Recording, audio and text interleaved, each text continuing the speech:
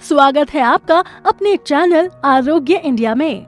दोस्तों, अगर आपने चैनल को सब्सक्राइब नहीं किया है तो सबसे पहले सब्सक्राइब करें और जो बेल आइकन आपको दिख रहा है, उसको प्रेस ज़रूर करें। सही समय पर खाना खाना बहुत ज़रूरी है, लेकिन इससे भी ज़्यादा ज़रूरी है पोषक तत्वों से भरपूर खाना खाना। वहीं कुछ लोग भूख ना लगने से भी परेशान रहते हैं, जिससे शारीरिक कमज़ोरी आने लगती है जिससे रोग प्रतिरोधक क्षमता पर बुरा असर भी पड़ना शुरू हो जाता है।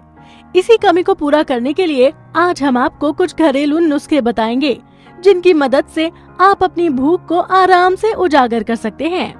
सबसे पहले बात करते हैं हरे धनिए के रस के बारे में।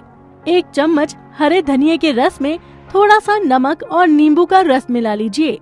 इससे आपको भूख लगना शुरू हो जाएगी। अगर आपको बिल्कुल भूख नहीं लगती है तो आप खाना खाने से आधा घंटा पहले अदरक के टुकड़े में थोड़ा सा नमक लगाकर खा लें। इससे आपकी भूख उजागर होने लगेगी। सलाद में मूली, काली मिर्च और नमक मिलाकर खाएँ। इससे आपका इम्यून सिस्टम भी मज़बूत होगा और धीरे धीरे आपकी भूख भी बढ़ने लगेगी। गुड़ के साथ काली मिर्च का सेवन करने से भी भूख बढ़ने में आसानी होती है। जितना ज़्यादा हो सके अपने खाने में काले नमक का इस्तेमाल करें। काले नमक से पाचन क्रिया मज़बूत होती है उसमें सुधार होता है और ये भूख बढ़ाने में भी बहुत मददगार साबित होता है।